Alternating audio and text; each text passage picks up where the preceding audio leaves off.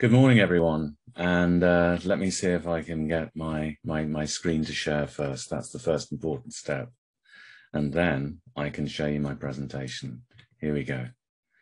Well, I'm going to briefly, uh, a bit of a rocket ride here. We've got 10 minutes to sort of drag you from planetary scale stuff, well, universal, planetary, then to go to very small, then very big again. That's the kind of way it's going to work today. It's interesting though, we, we often view you know, our, our world through light and certainly visible light. And uh, it helps us even measure some of these vast distances. If you look at the, um, the galaxy here on, on the image, that's, that's the Andromeda galaxy. It's interesting that the light from that galaxy took two and a half million years to get to Earth. In fact, human evolution happened in the time it took for that light to get to our planet, which I find quite stunning. But light has played a role throughout our life, and it plays a big role in my life. You think of um, early humanity, um, you know, basically since the dawn of, of, of, time, we've been using light. And, and it's sometimes to access in the darkest reaches of, of, our world, to record that was once around us. You know, the, here you can see these beautiful images from Lascaux some 17,000 years ago, where, where people are recording the world around them. And it sort of links us um, to our past, to, to our ancestors. Um, I always think it's fun as well when we start trying to translate information in our world. We start by using shadows, um, you know, cast by light, revealing these secrets of this two and a half thousand year old cuneiform tablet. And, and it, it, this particular passage is always a little bit entertaining in some respects, because here King Cyrus, his, his genealogy is, is laid out before you, and it portrays him as a king of kings from a line of kings. Alas, the poor old Nabonidus, who he defeated, um, he fares less well in this tablet. So he's sort of, dare I say it, cast into the shadows by the scribe.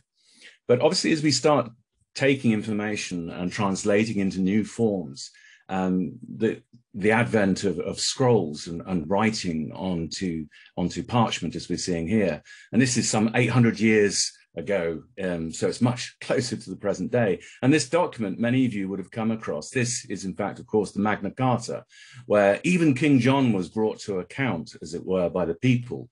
Uh, for the people, as it were. So these are very powerful documents that have helped our species translate um, our, our, our economies, our thoughts, our hopes, desires, and so on, recorded on these parchments.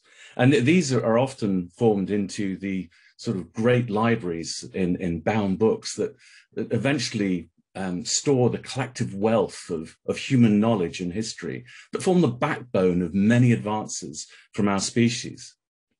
But there's another library, one that offers even deeper knowledge of our planet's past, one that might also offer insight to our future.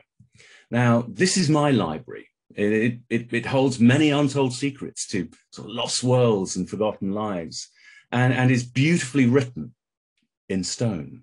Now here it's it's illuminated by the sun. Actually, this is the Solnhofen limestone in southern Bavaria, and and these sort of stony volumes are are packed with the occasional letters and disjointed sentences that belong to this fragmented volume, which is the, the story of life on Earth.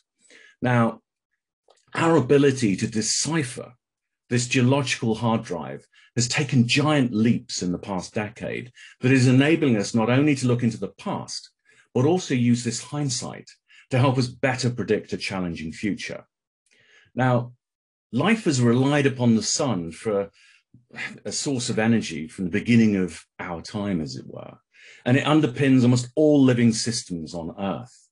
But it is a light that is brighter than 10 billion suns, that is permitting us not only to turn over the stony pages of the fossil record, but also shed new light on the processes that were once thought lost in the sands of time. Now, this is is the diamond light source in the UK. It's one of my favorite places on on on earth, as it were. I love these places. Let's flip the lid off to see how it works. These are these big cyclic particle accelerators. And if we go to the beginning of the video here, there we go. We've got the, this is where the, the, the fun begins. A package of electrons is produced in this gun to the left.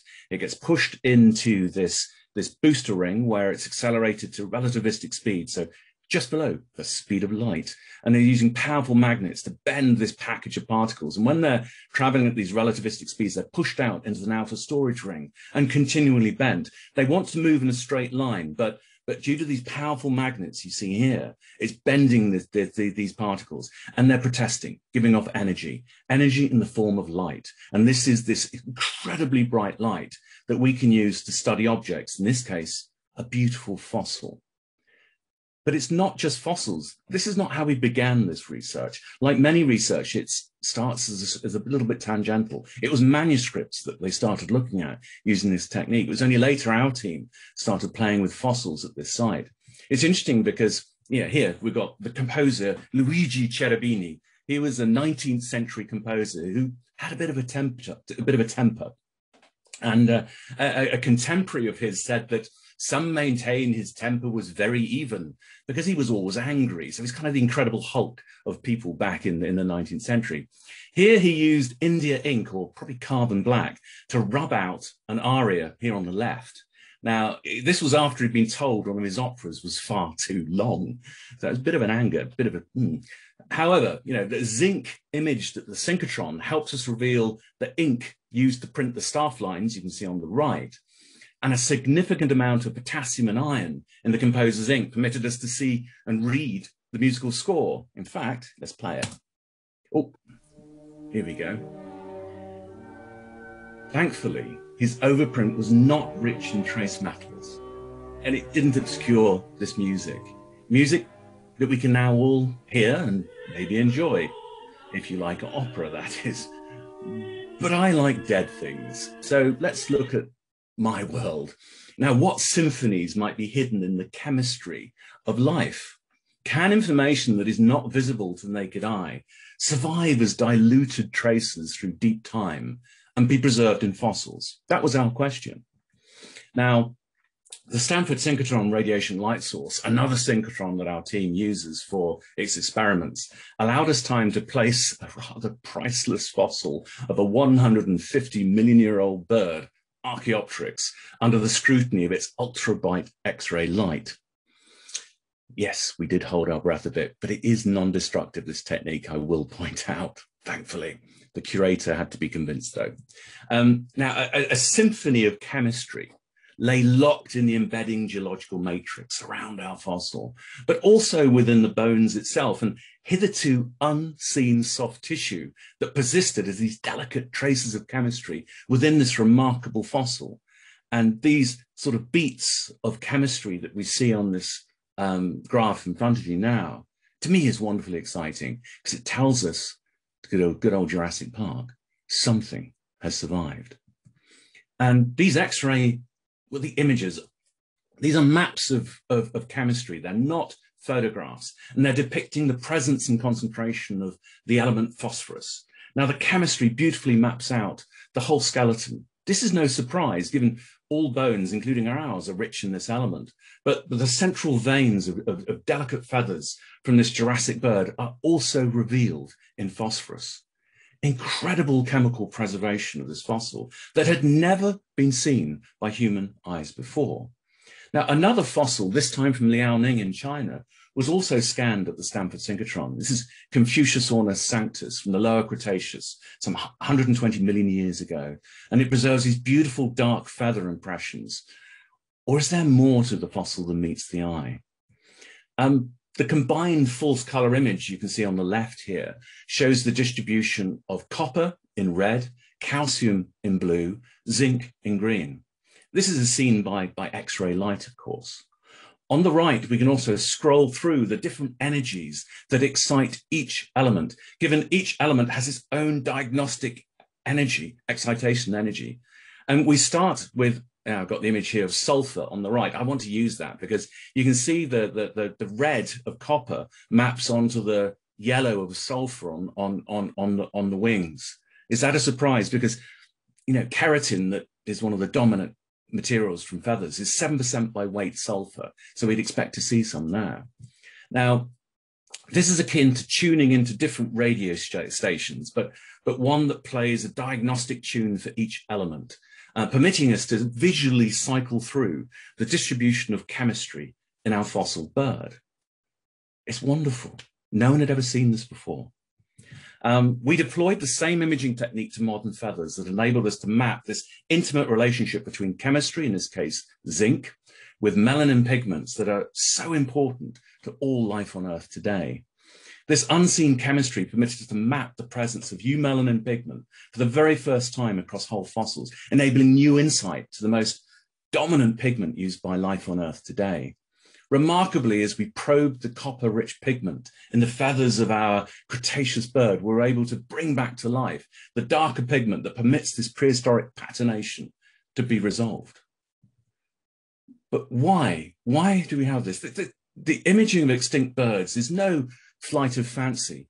As, as the imaging technique we have developed can also help answer some of the most pressing questions that face the planet today. But in terms of storage of waste, whether it be biological or nuclear waste, you're putting something into the ground. You want to make sure it stays there through deep time. The hindsight the fossil record affords us allows us to create models that can do that. The imaging techniques allow us to map dilute concentrations of chemistry in materials that have not uh, been able to be scanned in this way ever before, such as biological tissues from extant animals subject to pollutants and so on.